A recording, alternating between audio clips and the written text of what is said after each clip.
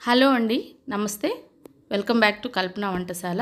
ఈరోజు మన వంటశాలలో చపాతీలోకి పూరీలోకి మంచి కాంబినేషన్ ఆలూ కూర తయారు చేసుకుందామండి. దీనికి ముందుగా మనం స్టవ్ మీద ఒక పెనం పెట్టేసుకొని పెనం వేడెక్కిన తర్వాత ఇందులోకి రెండు కానీ మూడు కానీ టీ స్పూన్లు నిండా నూనె వేసుకొని నూనె వేడెక్కిన తర్వాత అర టీ స్పూను ఉద్దిపప్పు ఆవాలు వేసుకొని వేగిన తర్వాత ఇందులో కొద్దిగా కరివేపాకు రెండు మూడు ఉల్లిపాయలను సన్నగా పొడవుగా కట్ చేసి అలాగే పచ్చిమిరపకాయలు కూడా పది తీసుకోవాలండి. ఎందుకంటే ఇందులో కారం పొడి అనేది వేయము. ఓన్లీ పచ్చిమిరపకాయలు వేస్తే ఈ కూర చేస్తాం కాబట్టి కొంచెం కారానికి సరిపడా ఎక్కువగానే అంటే నేను ఇక్కడ పది పచ్చిమిరపకాయలు తీసుకొని సన్నగా పొడవుగా కట్ చేసేసి ఉల్లిపాయలతో పాటు పచ్చిమిరపకాయలను కూడా వేసుకొని దోరగా వేగనివ్వాలి.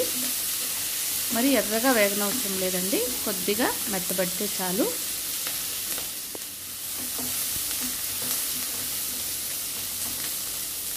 ఉల్లిపాయలు ఈ విధంగా వేగితే చాలండి.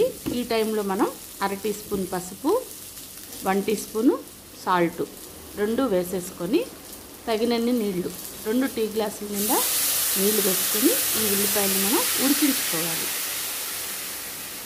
నీళ్ళు అనేవి మీరు తీసుకున్న ఆలుగడ్డలను బట్టి మనం ఇందులో నీళ్ళు పోసుకోవాలండి. తగినన్ని పోసుకోండి. ఈ లోపల నేను కొద్దిగా ఉప్పు పసుపు వేసి ఉడికించుకున్న ఆలుగడ్డలకి తొక్క తీసేసి పెట్టుకుందామండి.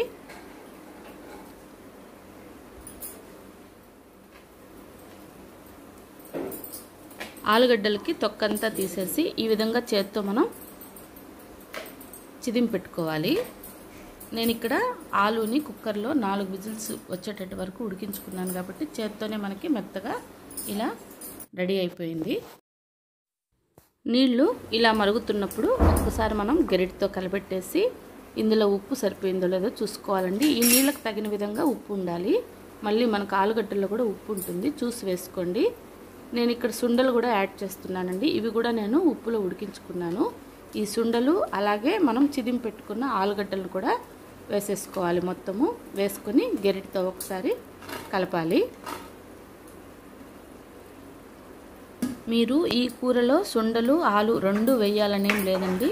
ఉంటే రెండు వేసుకోండి. లేదా ఆలు మాత్రమే కూడా వేసుకొని ఈ కూర తయారు చేసుకోండి. బాగుంటుంది. నేను కూడా ఎక్కువగా ఆలు ఒక్కటే వేస్ట్ చేస్తానండి నిన్న వినాయక చవితి రోజు మా ఇంట్లో కొన్ని సుండలు ఉండిపోయాయి. అవి వేస్ట్ కాకుండా నేను ఇలా ఈ కూరలో వేసేసి సేల్ చేసేస్తున్నాను అనమాట గెరిటితో మొత్తం కలిపినప్పుడు నీళ్ళు అనేది అంటే కూర ఈ కన్సిస్టెన్సీలో ఉండాలండి. ఇలా కూడా మనం తినచ్చు. మనకి ఇంకా గ్రేవీ కొంచెం ఎక్కువ కావాలనుకుంటే మనం ఇందులో రెండు టీ స్పూన్లు శనగపిండి తీసుకొని అందులో కొద్దిగా నీళ్ళు వేసి ఒకసారి బాగా మిక్స్ చేసేసి దాన్ని మనం ఇందులో కలుపుకున్నామంటే కూర ఎక్కువ వస్తుంది టేస్ట్ బాగుంటుంది. అలాగే మనకి ఎక్కువ మందికి కూడా సరిపోతుందండి. ఈ విధంగా ఒకసారి మీరు ట్రై చేయండి. ఎక్కువగా హోటల్స్లో ఇలాగే చేస్తారండి. అంతా ఒకసారి కలిపేసి చివరిలో ఉప్పు చూసుకోవాలి. మనం ఇక్కడ సుండల్లో ఆలూలో అలాగే ఉల్లిపాయలు ఉడికేటప్పుడు కూడా వేసుకున్నాం సాల్ట్. అంతా కూడా మనకి పూర్తయ్యే లోపల కరెక్ట్గా ఉప్పు అనేది సరిపోవాలండి. ఎక్కువ అవ్వకుండా చూడండి. చివరిలో కొద్దిగా కట్ చేసిన కొత్తిమీర వేసేసుకొని చివరిలో ఒకసారి కలిపేసి స్టవ్ ఆఫ్ చేసుకున్నామంటే మనకు చక్కగా పూరీలోకి చపాతీలోకి మంచి కాంబినేషన్ కూర అనేది రెడీ అయిపోతుంది. చాలా చాలా బాగుంటుంది.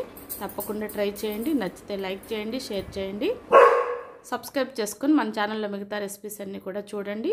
మరో టేస్టీ రెసిపీతో మళ్ళీ కలుద్దామండి. Thank you for watching bye అండి.